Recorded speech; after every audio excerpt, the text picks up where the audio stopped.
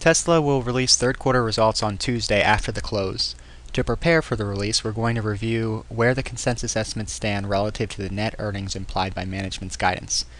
Then we'll run some scenarios through our earnings model for what we believe will be the two key factors on this quarter's call, including one, whether or not management will change their 2016 production run rate estimate of 1,600 to 1,800 vehicles per week, and two, any impact on our current CapEx estimates for 2016, including details on the Tesla Energy ramp or the Model 3 development, which could strain our cash flow estimates. In this video, we'll be using management's guidance from the last shareholder letter, which is available on the investor relations page, and the guidance starts on page 4. We'll also be using our Tesla earnings and valuation model. If you're new to this model, it follows the same approach as the other companies that we follow. So in the upper left hand corner you have the summary of the price earnings multiple and the discounted cash flow valuation. The income statement is forecasted on both a GAAP and non-GAAP basis, and the model is color-coded, so anywhere you see an orange cell, those represent consensus estimates. Purple cells represent company guidance, and typically have a comment that includes the full range of that guidance. And the blue cells represent our estimates. The income statement is fed by assumptions in the segment details. You can see that we have breakdowns for vehicle deliveries and gross margin uh, by vehicle. We also have the regulatory credit information and some assumptions for the Tesla energy products. That's followed by some ratio analysis and CapEx um, or excuse me, OPEX assumptions, as well as a breakdown of non-GAAP items. Below the income statement segment details, we have the full balance sheet and cash flow statement, followed by the valuation section. So here's the PE section and the discounted cash flow section.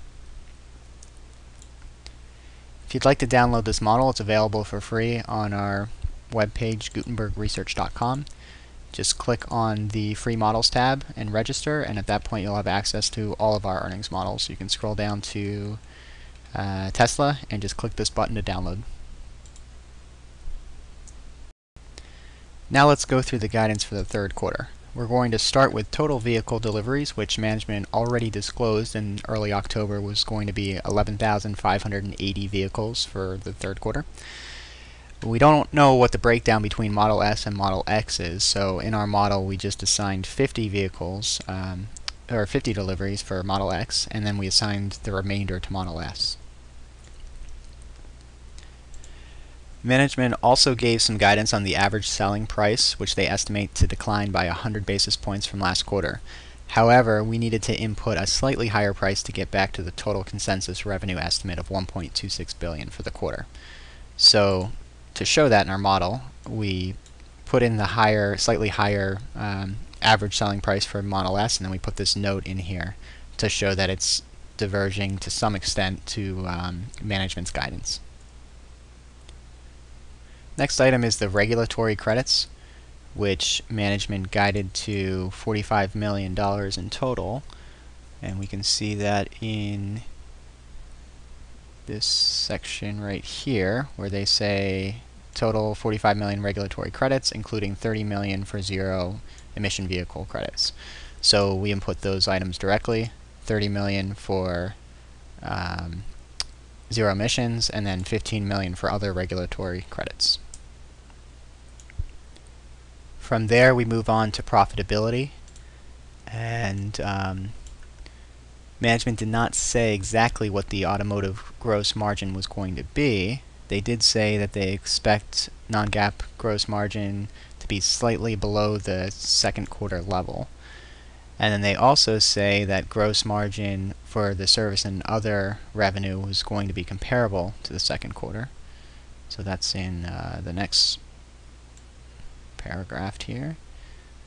Um, so what we did is we set the non-GAAP gross margin for Model S 100 basis points below what we saw in the second quarter, and then we kept the service and other constant at 2.2%.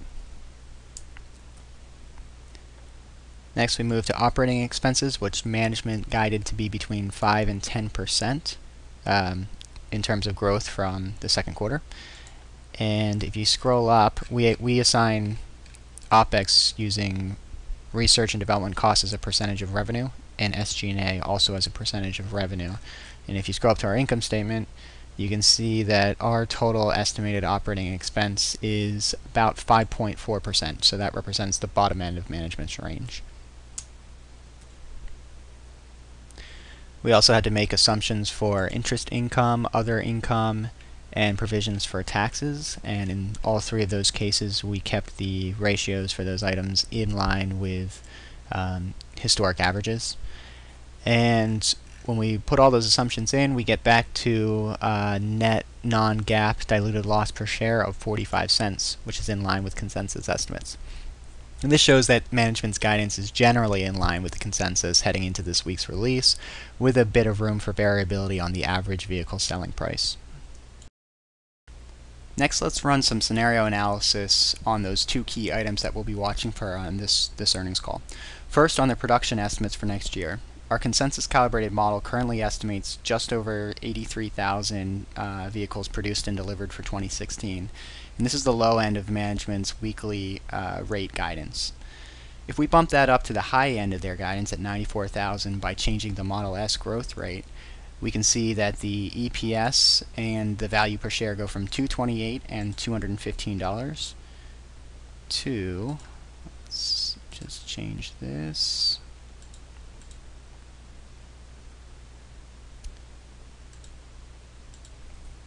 to 94,000. Okay, you can see it goes up to 275 per share and $251 which shows that there's some significant upside if management can execute on the production plans for next year. Let's now undo that change and run the other scenario. And take a look at the CapEx.